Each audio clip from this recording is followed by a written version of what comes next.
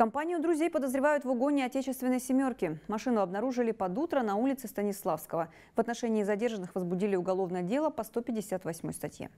Ориентировка на украденный ВАЗ поступила в дежурную часть около 4 утра. Экипажи начали отрабатывать заявку и спустя несколько минут заметили в левобережье темную «семерку», которая подходила под описание. В багажнике нашли старый канализационный люк. Однако товарищи категорически отрицали причастность к похищению этой детали. Инспекторы позвонили собственнику авто, который также не захотел писать заявление на пропажу люка. Вероятно, крышка от ливневки и владельцу ВАЗа досталась незаконно. Друзей подельников доставили в Ленинский отдел полиции.